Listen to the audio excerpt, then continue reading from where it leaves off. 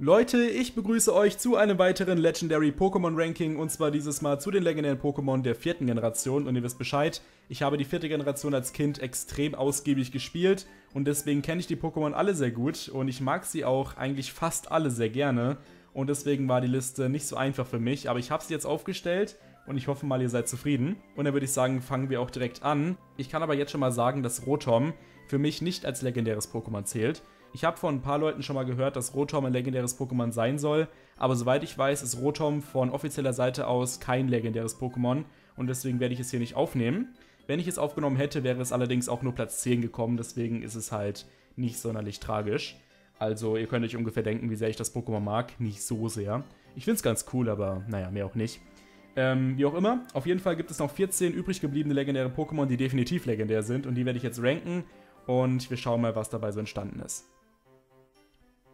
Und der 14. Platz geht mit Abstand an Fione. Ich verstehe ernsthaft nicht, warum Fione überhaupt existiert. Wenn man Manafi in die Pension gibt und ein Ei erzeugt, bekommt man Fione raus. Und Fione ist einfach nur eine etwas schlechter designtere Variante von Manafi mit schlechteren Werten und schlechteren Moves. Was weiß ich, was man sich dabei gedacht hat. Aber Fione existiert und es ist für mich mit Abstand, mit gigantischem Abstand, das lameste legendäre Pokémon aller Zeiten. Also wenn man irgendwie versucht hätte, den Pokédex zu füllen, sodass Arceus, der Gott der Pokémon, auf Pokémon Platz 500 gelandet wäre oder so, dann hätte ich nachvollziehen können, dass man Fione als Nummer 498 dazudichtet. Aber so ist es einfach komplett sinnlos. Ich meine, jetzt hat Arceus die Nummer 493 und nicht die Nummer 500, die ziemlich episch geklungen hätte. Dementsprechend hätte man den Pokédex so nicht füllen müssen. Und es ist einfach ein unnötiger Zusatz. Also Fione fand ich immer richtig dumm und ich werde es auch nie mögen. Und das ist eins der Pokémon, die ich wahrscheinlich lange Zeit über nicht anfassen werde. Auch wenn ich jedes Pokémon eigentlich mal competitive aufbauen möchte. Ja, bei Fione wird es eine Weile dauern. Denn das Schlimme ist, dass ich Manafi nicht mehr sonderlich leiden kann, ja? Manafi ist so ein Pokémon, das ist halt relativ mysteriös, sag ich mal. Man hat es damals bekommen, wenn man im Pokémon Ranger nach der Story ein Ei angenommen hat und das konnte man dann irgendwie auf seinem DS speichern oder so. Oder man hat einen Code bekommen, glaube ich. Und den konnte man dann in Pokémon Diamant eingeben, um das dann einmalig zu bekommen. Also das war ganz kurios. Ich habe das sogar gemacht und ich hatte dann Manafi und es ist auf meiner Box vergammelt, weil ich es einfach unfassbar lame und hässlich finde. Ich finde es ehrlich gesagt nicht mal süß. Es ist für mich einfach lame. Ich weiß, dass es competitive gesehen, soweit ich weiß, sogar ganz gut ist. Ähm, ich habe mir das nie genauer angeschaut, aber ich habe da mal was gehört. Aber auf jeden Fall hat es mich nie gejuckt. Es ist einfach so ein kleines Wasservieh, was genauso gut einfach ein random Basis-Pokémon sein könnte und niemand würde es hinterfragen, war ganz im Ernst. Das sieht einfach nicht legendär genug für mich aus. Ich habe sogar mal, glaube ich, den Film gesehen äh, mit Manafi und Fione. Bin ich mir aber nicht mehr ganz sicher. Ich glaube, ich habe nur reingeschaut. Aber auf jeden Fall gibt es da einen Film, da bin ich mir sicher. Ich werde hier mal wieder das Cover einblenden. Aber keine Ahnung, dieses Pokémon hat mich nie gejuckt und es sind für mich auch die einzigen schlechten legendären Pokémon in der vierten Generation, denn jetzt kommen zwölf wirklich gute. Und dementsprechend tut es mir auch weh, dass ich Selfe auf den zwölften Platz setzen muss. Selfe mag ich halt einfach am wenigsten von den restlichen zwölf und dementsprechend landet es auf Platz 12. Ähm, generell dieses ganze Trio mit Selfie, Tobutz und Vesprit, die finde ich relativ, ja, lame, sag ich mal. Also die jucken mich nicht so sehr. Das sind quasi die Hüter der Seen von äh, Sinnoh. Ist ganz cool eigentlich die Idee, aber das war's dann auch schon. Also so sehr überzeugend tut mich das jetzt nicht. Selfie ist ganz nett, die anderen beiden Pokémon sind auch ganz nett. Sie teilen sich so ein bisschen hier den 12., 11. und 10. Platz, aber ich finde Selfie noch knapp am schlechtesten. Vielleicht, weil es so ein bisschen gelb ist. Was weiß ich, ist ja auch egal. Auf jeden Fall mag ich Selfie etwas weniger als die anderen beiden und deswegen Platz 12. Keine Ahnung. Es sind einfach relativ unspektakuläre legendäre Pokémon. Aber auch sie finde ich vom Design her echt nicht übel. Also auch die finde ich vollkommen in Ordnung. Und die sehen auch legendär aus. Und der elfte Platz geht für mich an Toboots. Und ich mag Toboots eigentlich ganz gern. Ähm, soweit ich weiß, ist es sogar competitive ganz gut. Und ja, ich mag es vom Design etwas mehr als Selfie. mehr kann ich da fast nicht sagen. Wie gesagt, die geben sich alle drei nicht viel. Ähm, das Unterteil von den Pokémon sieht ja bei allen drei identisch aus. Also diese ja, zwei Schweife, sag ich mal, die die haben. Und dieser kleine, etwas gebrechliche Körper. Nur der Kopf ändert sich halt so ein bisschen jeweils. Und den von Selfie finde ich einfach ein bisschen hässlicher als den von Torboots. Aber wie gesagt, die geben sich nicht viel. Und dann kommen wir auch schon direkt zu Platz 10 und zwar zu Vesprit. Vesprit ist, soweit ich weiß, der Anführer dieses Trios, aber eigentlich sind alle drei ja, mir relativ gleich egal, sag ich mal. Wie gesagt, ich habe alle drei nie wirklich groß angefasst. Ich finde sie vom Design her nicht schlecht und sie sehen auch für mich legendär aus, wie gesagt. Ähm, von der Lore her hängt es ja so ein bisschen zusammen mit diesen Rubinen, die die auf der Stirn haben. Denn da konnte man doch irgendwie so eine Kette zusammenbasteln, um Dialga und Palkia zu rufen. War das nicht so? Ich glaube, irgendwie sowas hatte der gute Zyros damals gemacht in Pokémon Diamant und Perl, ähm, der Anführer von Team Galactic, also der Bösewicht von dieser vierten Generation. Ähm, das fand ich immer ganz cool, also die Lore dahinter. Wie gesagt, das sind die Hüter der Seen von Sinnoh und das ist schon eine coole Idee eigentlich, aber mehr auch nicht. Deswegen bekommt Vesprit nur Platz 10. Bisschen unscheinbar, aber wie gesagt, als normales Pokémon würde ich das nicht abstempeln, weil das schon irgendwie besonders aussieht. Also sind schon ganz coole legendäre Pokémon, aber sie stehen halt im Schatten der richtig coolen legendären Pokémon, die gleich noch folgen werden. Nämlich zum Beispiel Cresselia. Ähm, Cresselia finde ich ganz nett. Es gab da eine schöne Sidequest in Pokémon Diamant, wo man quasi ein Kind heilen musste, das in irgendwelchen Albträumen gefangen war. So war das, glaube ich. Und da musste man, soweit ich weiß, eine Feder holen von Cresselia, um das wieder aufzuwecken. Irgendwie so war das. Und da konnte man Cresselia auch fangen. Ich finde Cresselia vom Design her relativ komisch. Also, ja, ich weiß nicht. Ähm, irgendwas mag ich daran nicht so sehr. Es hat mich nie so richtig überzeugt. Vielleicht ist es die Körperform, dass es keine richtigen Gliedmaßen hat, sondern nur diese Ringe da. Vielleicht ist es auch der komische Kopf, der mich immer ein bisschen an die Bananen von Tropius erinnert hat, warum auch immer. Aber auf jeden Fall fand ich Cresselia nie so krass, deswegen ist es nur Platz 9. Aber die kommenden 8 legendären Pokémon liebe ich eigentlich alle mega. Und dementsprechend, ja, wieso nicht? Ähm, ich denke mal, Cresselia hat sich den 9. Platz hier auf jeden Fall verdient. Und der achte geht wahrscheinlich wie zu erwarten an Regigigas. Ich denke mal, die meisten haben sich schon gedacht, dass dieses Pokémon nicht sonderlich hoch in der Liste landen wird. Das Problem ist, Regigigas ist einfach competitive gesehen der letzte Abfall. Und es hat mich auch schon als Kind enttäuscht, weil es diese Fähigkeit hat. Denn ich wollte es eigentlich mal trainieren, aber dann habe ich es gelassen. Weil die ersten fünf Runden, die es im Kampf ist, ist es einfach zu nichts zu gebrauchen und das ist einfach viel zu langsam. Richtig schade, dass man dieses Pokémon so verkackt hat.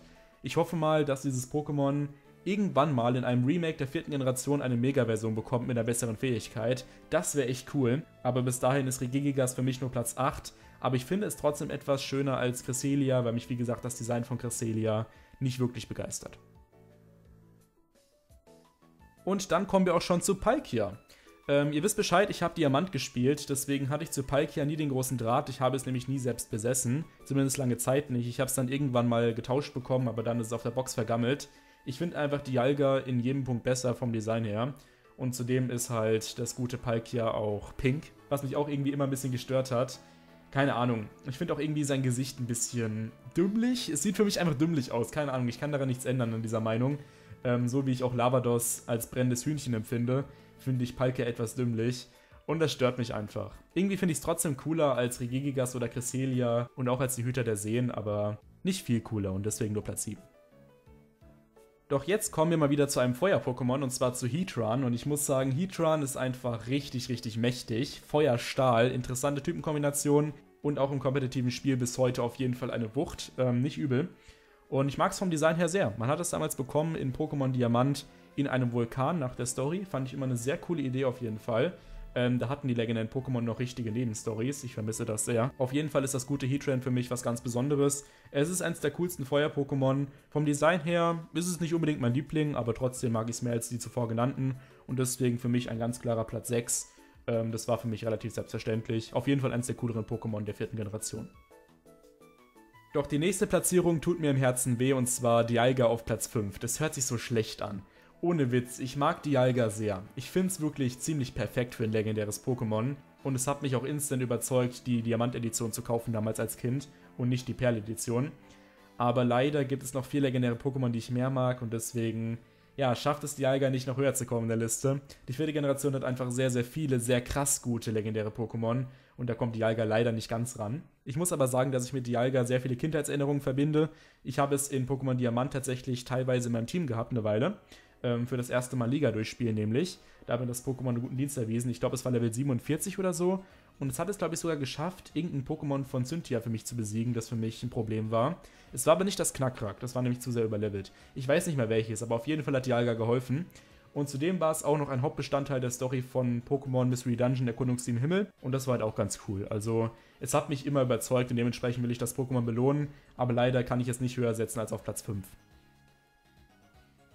Denn auf Platz 4 sitzt so ein Pokémon wie Giratina und Giratina ist einfach nochmal viel, viel cooler. Es ist quasi der Satan der Pokémon-Welt und es lebt in der Zerr-Welt, hat eine richtig coole Urform, wo es so fliegen kann. Das gefällt mir einfach mega. Ich muss sagen, ich habe Pokémon Platin niemals besessen, weil ich es irgendwie unnötig fand, mir das zu kaufen und ich denke, das war auch eine gute Idee, denn naja, so viel hat sich da nicht geändert. Und dementsprechend habe ich halt Giratina niemals in der Story erlebt, aber trotzdem habe ich das Pokémon immer sehr gemocht. Und obwohl ich damit eigentlich kaum Kindheitserinnerungen verbinde, finde ich es cooler als Dialga. Zumindest so ein bisschen. Ich muss aber dazu sagen, dass man sich Giratina schon fangen konnte in der Diamant-Edition. Und zwar hat es da so einen kleinen Dungeon gehabt mit einem kleinen Rätsel. Und dann hat es da gestanden auf Level 60, glaube ich. Und ich habe es gefangen. Hat eine Weile gedauert für mich, bis es dann im Ball drin geblieben ist. Aber ja, ich mochte es von da an sehr. Die spezielle Attacke Schemenkraft fand ich auch immer sehr cool von Giratina. Und es hat mich einfach überzeugt. Für mich ein ganz klarer Platz 4. Aber jetzt kommen drei Pokémon, die einfach unfassbar gut sind. Und zwar zunächst mal Shaman auf Platz 3. Ich weiß nicht, was mit Shaman los ist, dass ich es so sehr mag, denn es ist einfach komplett unscheinbar und eigentlich komplett lame.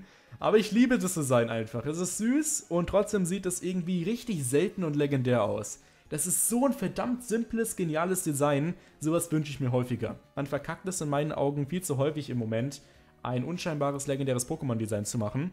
So Pokémon wie Terrakion beispielsweise kann ich gar nicht leiden, weil die für mich einfach null legendär aussehen. Die haben nichts von legendären Status für mich. Aber Shaman ist einfach was Besonderes, einfach speziell. Die Zenit-Form habe ich nie sonderlich gemocht, wenn ich ehrlich bin. Ich mochte immer die normale Form. Und die spezielle Attacke Schocksamen fand ich auch immer ziemlich cool. Shaman ist für mich einfach ein Pokémon, was heraussticht. Und ich habe auch den Film gesehen tatsächlich, soweit ich weiß. Doch, den habe ich sogar mal gesehen, stimmt. Und ich werde dir mal das Cover einblenden. Ähm, da ging es irgendwie um ein Zeppelin, kann das sein? Das habe ich irgendwie im Kopf gerade. Und um große grüne Wiesen, wo Shamans waren. Keine Ahnung, ich habe da nur so Flashbacks. Das ist lange her, dass ich diesen Film gesehen habe als Kind. Aber auf jeden Fall ein sehr cooles Pokémon. Platz 3, definitiv. Und ich finde es komischerweise einfach cooler als Giratina oder Dialga. Aber das ist nur meine Meinung. Die müsst ihr nicht unterstützen. Und der zweite Platz geht an Arceus. Und Arceus ist der Gott der Pokémon-Welt. Und das ist eine verdammt coole Idee, muss ich sagen. Ich habe auch den Film gesehen, hier mal wieder. Generell habe ich eigentlich von den Pokémon-Filmen nur die der vierten Generation gesehen. Ich glaube, alle anderen habe ich verpasst irgendwie, keine Ahnung. Die kamen damals mal auf RTL 2, kann das sein? Die Filme? Ich glaube schon. Auf jeden Fall habe ich auch den Arceus-Film gesehen. Den fand ich jetzt nicht so krass geil. Aber Arceus war halt einfach für mich was ganz Besonderes. Ähm, es ist der Gott der Pokémon-Welt, deswegen ist es halt schon ganz cool. Es kann seinen Typen ändern, wenn es so bestimmte Tafeln trägt. Das wurde ja später nochmal aufgegriffen in Generation 7 mit Typ 0 und so. Aber dieses Pokémon ist einfach nochmal wesentlich cooler designt als halt Typ 0 in seiner Entwicklung. Deswegen, naja, finde ich das einen schlechten Abklatsch in der siebten Generation. Aber wie auch immer, Arceus ist halt komplett overpowered, muss man sagen, von den Werten her. Es ist mittlerweile nicht mehr das stärkste Pokémon von den Basiswerten her, aber trotzdem finde ich es ziemlich überzeugend. Aber es ist halt nicht Platz 1 für mich, weil das Problem ist, Arceus ist für mich nicht perfekt und der Gott sollte perfekt sein. Und ich finde, man hat hier Potenzial verschenkt und das stört mich mega und deswegen nur Platz 2. Denn es gibt da noch ein Pokémon, was für mich klar besser ist. Und zwar Darkrai. Und Darkrai ist, glaube ich, sogar mein zweitlieblings-Pokémon nach Rayquaza, weil Darkrai ist einfach unfassbar düster und genial. Und man hat es damals bekommen durch einen Event-Code. Ich habe das nie selbst bekommen, genauso wie Arceus und Shaman. Ich habe aber ungefähr zwei Jahre, nachdem ich mit Diamant angefangen hatte, mir ein Cheat-Modul geholt, um diese Event-Codes mir zu holen. Hat, glaube ich, 10 Euro gekostet damals im Internet, dieses Cheat-Modul. Das hat meine Mutter mir bestellt gehabt damals. Und da habe ich halt diese Events nachgeholt und für das gute Darkrai musste man sich dann in ein Bett legen. In der Stadt, wo man auch dieses Side-Event mit Cresselia ausgelöst hat nach der Story. Und ja, da konnte man Darkrai auf einer Insel fangen, die halt ja genauso aufgebaut war im Endeffekt wie die von Cresselia, nur so ein bisschen anders. Ähm, auf jeden Fall nach demselben Prinzip im Endeffekt konnte man Darkrai dann fangen und das hat mich sehr überzeugt. Hat mir mega gut gefallen. Shaman hat man übrigens bekommen, indem man irgendwie in der Siegestraße so einen Seitenausgang genommen hat und dann konnte man da noch so einen weiteren Weg freischalten und Arceus hat man bei der Sperrsäule bekommen, wo man damals halt in der Story Dialga oder Palkia gefangen hat. Aber Darkrai fand ich einfach am coolsten. Es war so ein bisschen creepy aufgebaut. Es ist für mich vom Design her was ganz Besonderes. Richtig, richtig cool. Und leider habe ich auch eine schlechte Erfahrung damit gemacht. Und zwar habe ich dieses Pokémon dummerweise niemals in Mystery Dungeon besessen.